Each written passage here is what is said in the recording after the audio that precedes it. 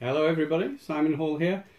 Um, in this video I'm just going to show you the very basics of movement. Every war game has got four basic bits to it. You, you've got movement, shooting, fighting and something to do with morale. From that point of view Meg is no different to anything else although it deals with each of them in a rather unique and new way. So just just to give you the, the, the very essence of it, I've got these 28mm figures out. They'll be easier for you to see. Um, all of the movement is driven by spending these coloured discs that your general would have and that's mainly what people use on the tabletop is these discs now because they disappear very nicely. But we also have packs of cards that do the same thing that some people prefer and I'm going to use these cards actually for the demo here because again they're rather easy to see than the uh, than the discs on a, on a video. But they, these two things these two devices do exactly the same job a bag of discs and those or a pack of cards it's the same thing. Each of your generals is going to get a number of those cards for its turn and we'll not worry too much about how that happens yet. We'll come back to that a little bit later. Um, this is about how you spend them to move your troops. So the first thing you need is this prompted action table. So this table whether it's the Pacto version which is this smaller version or the larger Maximus and Magnus version gives you all the things you can do and the cost for doing them in colour it's this colour or better to make the move and always for four different types of troop types. We have skirmishers, drilled, formed and tribal. And on this board in front of you I've actually set us up that way. So we have skirmishers on the edge of the Romans here, we have drilled Romans, we have formed Gallic cavalry and we have tribal Gallic infantry. So I've set it up to be exactly the same way as the table. And the table actually is just the same when you go to the bigger version of the game it's just there's more of it. That's all. There's more options and more choices. So the Pacto one has has fewer choices, but it's exactly the same system as I'm going to show you for both games. So let me start and show you how this works from a Maximus point of view first of all. So you, you start by saying what do you want to do and if you look at the, the sheet um, and we'll stick it on the on the screen for you for a minute the easiest thing that you get to do is advance directly ahead. And every single one of these units can do that with a, a white card. So it doesn't matter actually which of these units you've got, it's a white card to go directly ahead. You'll need some movement sticks. All movement is in base width, so for these 28mm ones they're in 60mm base width. So you'll need some movement sticks. We do actually produce these, so you can buy them as extras or you can actually make your own, print them out, get them made up in MDF. However you want to do it, you, you want to have a set of these because they make life much, much easier to have them. So all that we're going to be doing with these is, is moving the units. Now I'm going to split it there. So we've got two, two eights of Romans and we've got uh, four of skirmishers on the end. This is one big block of nine Gauls and this is, this is four. So very simple. So if you want to play a white, you know, those are going to be able to go three base widths forward. So you can see the pace of the game, the speed at which they move. Those are going to be able to go up to five forward. These are also going to be able to go up to three forward. And the skirmishers moving independently on their own, if I do it like that, are going to be able to move up to four forwards. So you can see where they could all end up, and that would be each spending a white card to it. So that's the most basic move that's in there, which is a, a simple advance of a, a single unit. Next thing to add to a single unit is any single unit that's a tug, that's main battle troops, can drag with it a unit of skirmishers. That's free, that's true on all occasions to do the same move. So if these paid a white now to advance there, they would go forward three and they would take the skirmishers with them if they wanted to. So they'd end up down here and the skirmishers will go with them. So they'd end up like that. Well, general for the time being. So that's a that's still a simple single unit white move, single tug move as we call it in in the rules. The minute we start going down the page and looking at more complicated things to do, the drill guys you will find have quite a big advantage. So let's now look instead at the most common thing you're going to do in all of the game. and that's going to be wheel. The most common thing that happened in, in the ancient world was big lines of troops moving forwards or turning a little and, and, and moving around. So we're going to look at a, an advance with a wheel, which is an M3. Now that's different because if we look at what it takes to do that, the costs are different. It's a white card for a skirmisher to do it. It's a green card for drill troops to do it. It's a green card for form troops to do it, but it's a yellow colour for the it. So that's the basic essence of what's going on is as the moves get more complex, they get more and more expensive, but they get increasingly more expensive for the troops that were less manoeuvrable, the tribal troops. A wheel, just to just just to show you how to do a wheel, do it precisely because the geometry is a really easy way to do it. And because these are based with measuring sticks, they make it very easy. So let's say I want to wheel these cavalry over there. That's two base widths. You can wheel up to 90 degrees. So let's say I fancy wheeling to about there. Keep that on the corner so that you're wheeling properly. Let's say I'll do a two base width wheel that's there. And actually, as you've got the measuring sticks, it's very easy to say. And I'll do directly ahead three. So that's my move of five. There you go. Gallic Cavalry with a wheel. Single green to do that. Let me pop those back.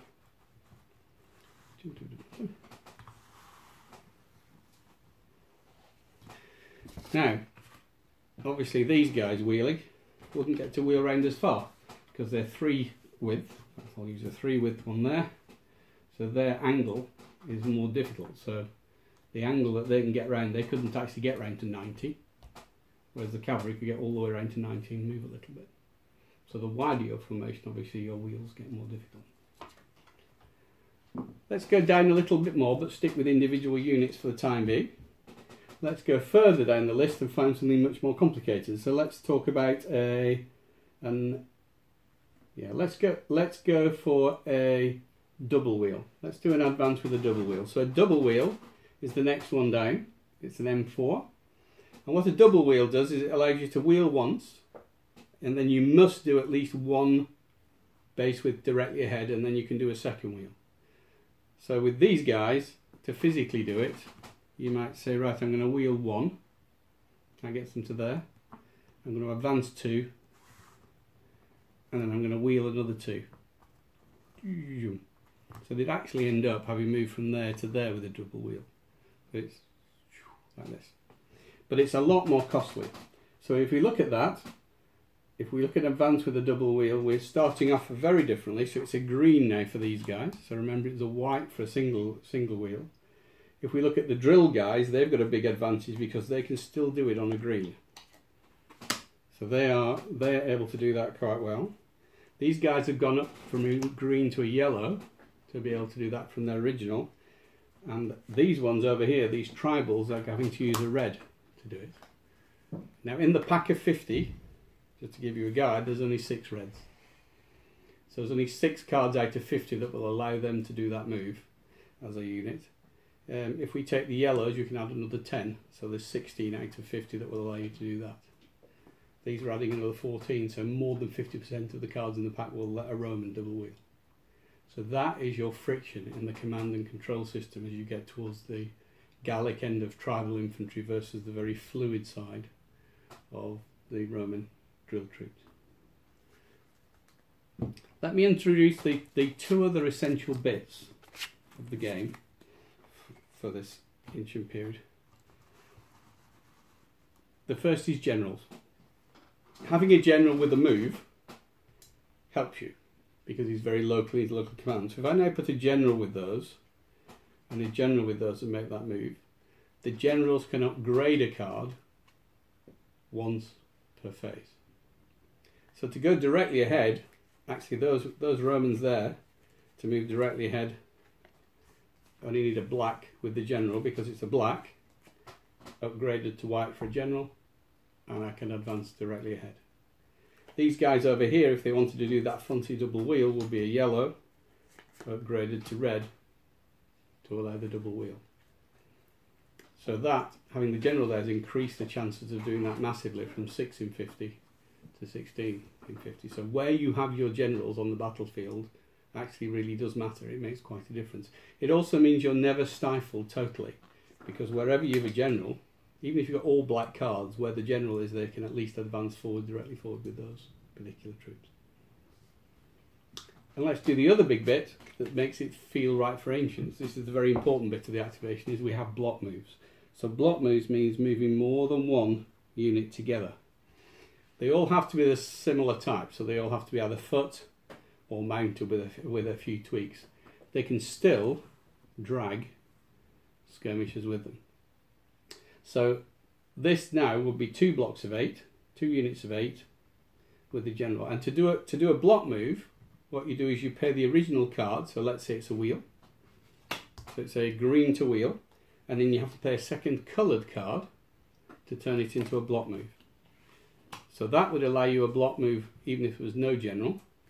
Of course, if there's a general there, it could be a white upgraded to green. And now you now you move the entire block effectively like it's a one big rectangle. It's now one move for the whole lot of them.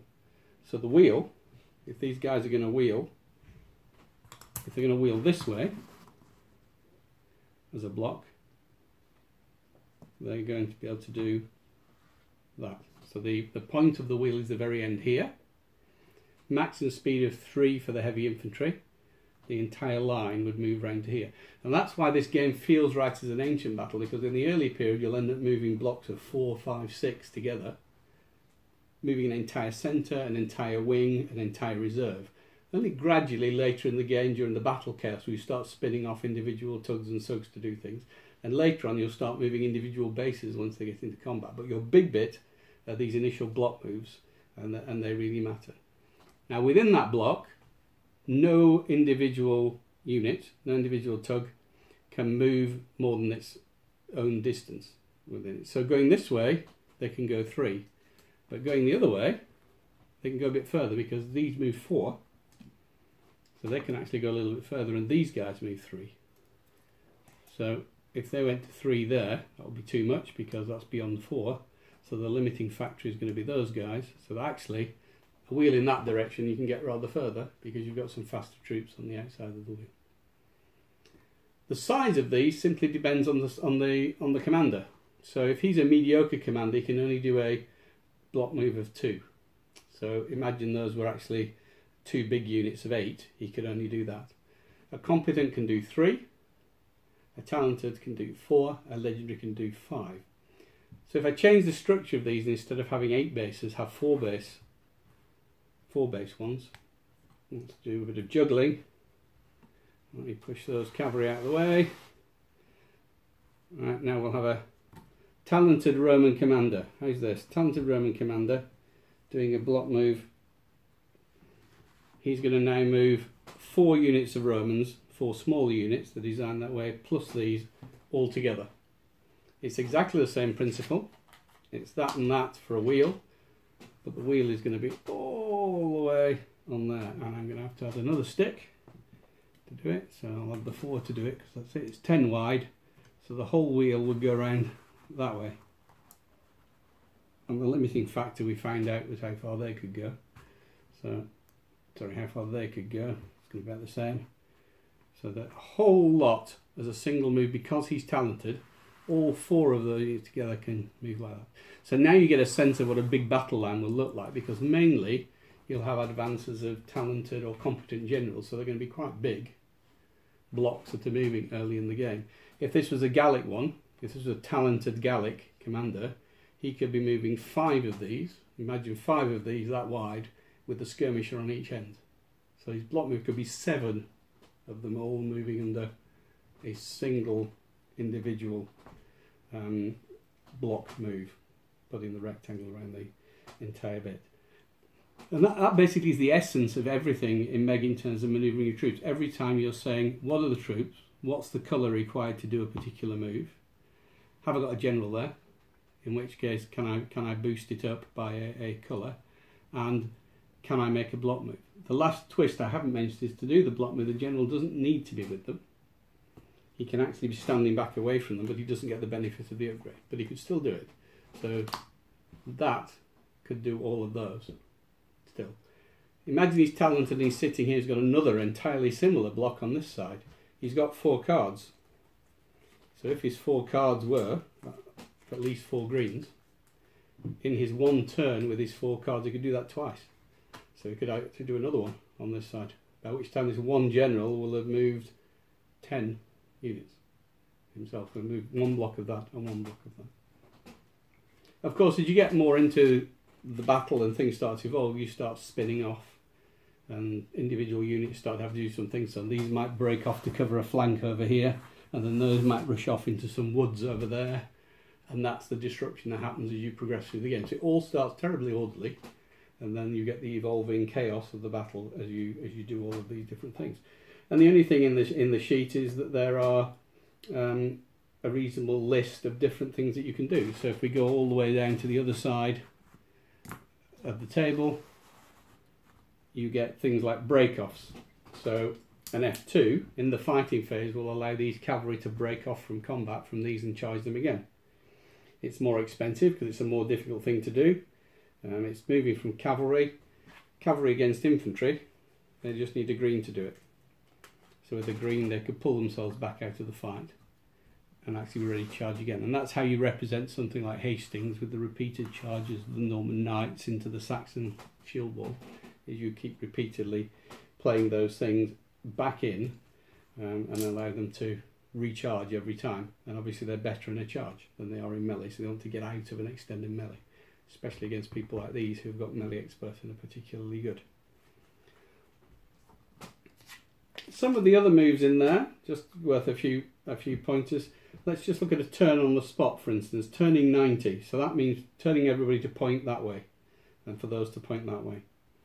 That turning on the spot is a, a green for the drilled, a yellow for the tribal, and a yellow for these guys. Yeah. Turn 90 on the spot. So if we do turn 90 on the spot, then let's just look at the colours for those. It's a M9 move. It's white for skirmishers, so it's very easy. It's green for the Romans, they can do it very easily. It's yellow for all of these other people. And turn on the spot, you turn the individual unit. So that one, you would turn that way on the spot there and then you could you must always be at least two wide in, in Meg there's no single columns so they have to then expand one way or the other so I'll do this one as well which is a bit easy to see turns that way has the choice to go there or there so so it might actually it might actually go that way I'm going to do a longer one on block moves but just out of interest if you block move a turn 90 it's the only move that breaks up the block potentially. All the others, the rectangle, the block stays together in its current form, but with the turn 90, they must all do the same thing. But if these did a turn 90, they would do this, and they would no longer be a block. They've actually broken themselves up and come out of a block formation. These guys here, same principle, they turn on the spot. They can't be more than they can't be less than two wide, so they have to expand in one direction to be at least two wide, and they can't be more than four deep. So because there's nine of them, they're very, very limited on what they can do as turns because their only option is to do that as a, as a nine and end up facing in that direction.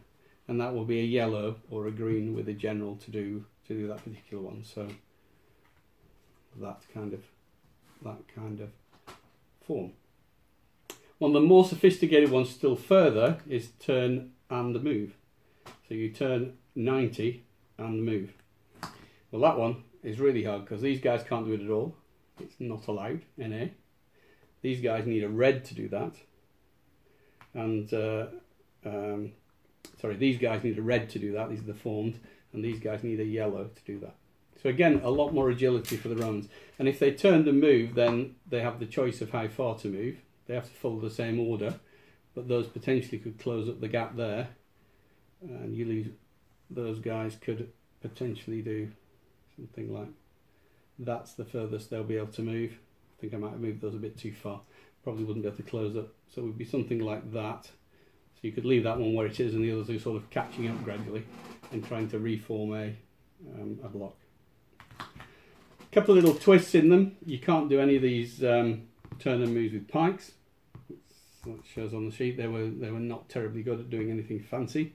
They're better at going forward and wheeling. you can only move artillery independently on their own. They can't be part of any blocks, so they, they're reds to move individually. Um, and then finally, once you get into combat, if you're in a combat situation, you can pay cards to do individual moves. So let's imagine you've got a fight like this going on. Let me shove that a little bit that way so you can see it. It's actually helpful to put another base in there or for the Gauls to put another base in there because they get more troops fighting and that's called um, an MF1 move of moving unengaged bases. Unengaged bases are bases that are not currently fighting. So in a melee, all of this rear rank here are not fighting, it's just the front rank ones that are fighting. And there the, the drilled have a huge advantage because it's green to do it for Romans and it's yellow to do it for tribals. So un moving unengaged bases will be taking a whole bunch of bases and putting them to a new file. So they could do that with the yellow.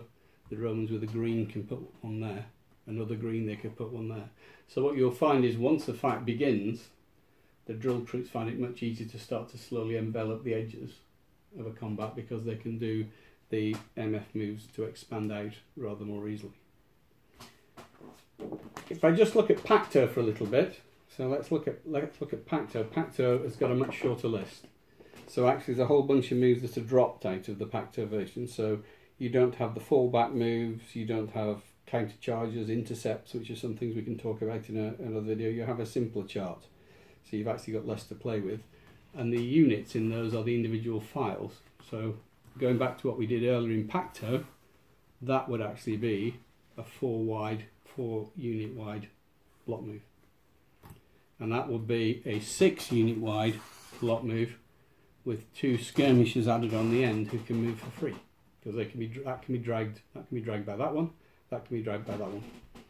So if this is a Pacto army, a talented general could do all four of these and they could pull those with them and move all six. And that becomes your your big block for the purposes of a, a, a Pacto game.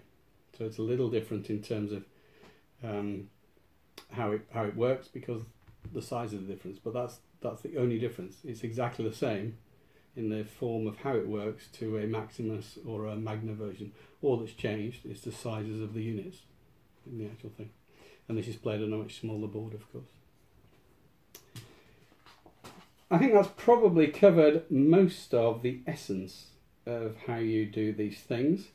Um, I'll probably add just one more bit. Charges. Charges are always greens to declare. Um, and that actually allows you to wheel up to 90 degrees. If these guys were charging, they could say charge from there, they could wheel this way and charge in um, to hit something. So uh, the fundamental of charges, it's, it's all about green, and you can block charge. So these guys here could block charge those, and that would be a green plus a white upgraded to green for the generals, and the whole lot would charge that. So these will make contact, and these will be basically following the order of we're charging, keep up with us if you want to think of it that way. So, so that's the way the first principles of, of charges work. Um, there are some actions on here that are not actually doing things but stopping people doing things. So these guys, for instance, if this was a Pacto line of Gauls, you'd have four units of Gauls there. You, you may not want to charge in here. You may feel like these are all, let's say these are all 10th Legion, exceptional legionaries you've now discovered and uh, you want to hold back for a little bit and have something else going on, these guys have to charge if they get within three. They're called devastating charges, so they're way too close. You can pay to stop them from charging, but it's red to do it. So that's not going to be too easy because you're going to have to have at least a yellow upgraded to red by the general. So you're going to have to at least that plus the green to make it a block. So that will be Yellow upgraded to red to stop force charges, adding a green to make it a block, stopping all four moving. So you can see how pricey that actually is to do. Even the Romans, if they get very close, if they get within one base width, they have to force charge enemy that, that are near to them, but it's so much cheaper for them to do because it's actually a green for them instead of a red, so all they would need would be that. So they could stop themselves from force charging with those green to stop a force charge with drilled, upgraded to green for the general, compared to the poor guys over here, yellow upstairs to red, let's say, green through general. So you can start to see how much easier it is to control your Romans and do what you want with your Romans and how difficult it will be to stop your Gauls racing off and getting involved in fights even if you don't want them to. So the great skill with the Gauls is to get them in the right place in the first place. Because they don't wheel very well, they don't manoeuvre very well. The Romans, loads of flexibility once you've learned how to do it, they can move around, reorganize themselves. You can picture some of the movies with the little blocks of Roman cohorts all shuffling around and moving themselves into position. The game allows exactly that type of uh, mechanic to go ahead. So I hope that's given you a little bit of just the essence of how the colour system works for uh, command and control. Your generals, just to come back to them, your generals will just have a different number of these cards. So if he's legendary, he's going to get five ago.